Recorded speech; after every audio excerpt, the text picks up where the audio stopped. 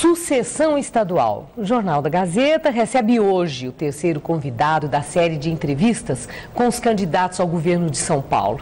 E o entrevistado é Paulo Búfalo, do PSOL. A entrevista vai ter 10 minutos de duração e também participa desta entrevista o comentarista do Jornal da Gazeta, Paulo Marcum. Boa noite, Marcum. Candidato, muito boa noite. Muito obrigada por estar aqui. Boa noite, Maria Lídia. Boa noite, Marcum e a equipe da Gazeta. Bom, a, o TRE indeferiu a candidatura do seu vice, Aldo dos Santos, com base na lei ficha limpa. Agora, por consequência, o senhor tem também o registro da sua candidatura negado. A minha pergunta é por que o PSOL não trocou o vice, como é uma prerrogativa legal, e para validar a sua candidatura e evitar que o eleitor, até todo o procedimento que chegue a tribunais, a instâncias superiores, corra o risco de ter um voto perdido se tribunais superiores confirmarem a decisão do TRE. Por que vocês não trocaram o vice?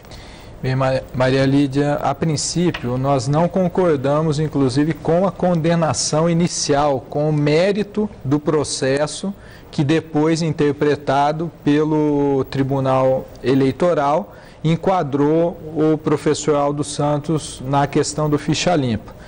No mérito, o, quando então vereador na cidade de São Bernardo, o nosso companheiro cedeu o seu carro para poder transportar idosos e crianças a pedido de um movimento social, porque ali haveria uma reintegração eh, de posse daquela área.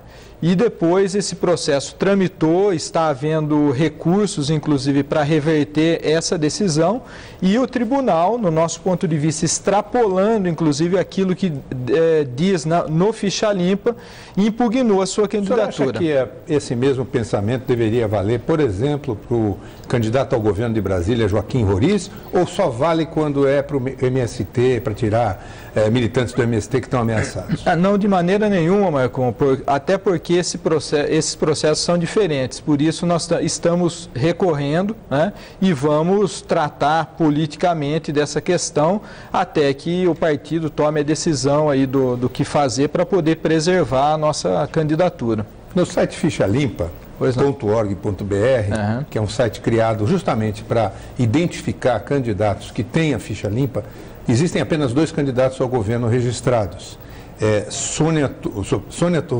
Tupinambá, do PSOL, uhum. e o Fernando Gabeira, do PV.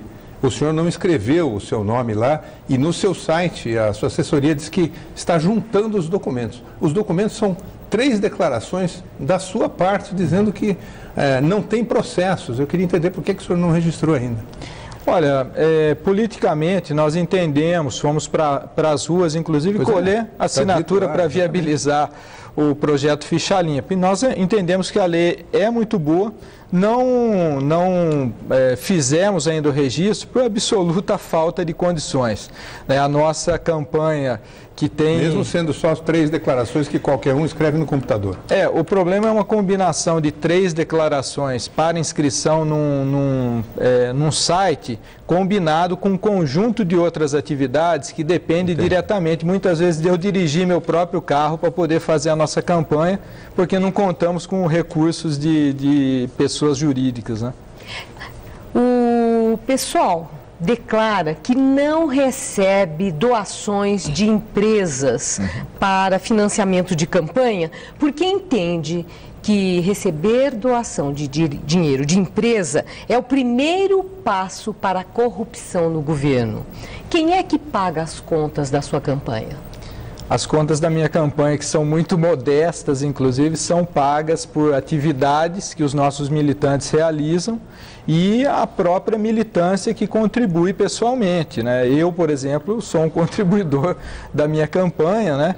e algumas outras pessoas, amigos, simpatizantes do partido que vêm fazendo essas contribuições. E o senhor acredita que com essa desigualdade, vamos dizer, de força no enfrentamento de candidaturas que declaram que não apenas recebem, como declaram de quem recebe e o valor das suas campanhas, que é muito alto, dá para o senhor competir?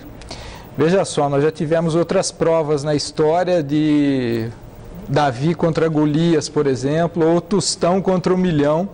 E nós queremos, com o Tostão, convencer a população e discutindo com o seu cotidiano que há dois projetos na pauta. O nosso projeto e os demais, né? que evitam, inclusive, entrar em temas centrais né, é, do debate político nacional, justamente para não discutir com o cotidiano e aquilo que a população vive. Né? O senhor tem no, no seu programa de governo 10 pontos, 10 eixos programáticos: cultura, criança e adolescente, direitos humanos, educação pública, finanças públicas, meio ambiente, mulheres, negros e negras, reforma agrária e urbana, saúde pública e, inclusive, um ponto sobre a questão das lésbicas, dos gays, dos bissexuais e dos transexuais. Agora, eu não achei no seu programa duas questões que acho que interessam muito a população: transporte e segurança. A esquerda acha que segurança, por exemplo, não é assunto de governo estadual? Não, de maneira nenhuma, Marcon. É, o nosso programa ele trata da questão da segurança a partir da visão que nós temos dela, que nós avaliamos que violência não vai se combater com mais violência, mas com garantia de direitos e cidadania.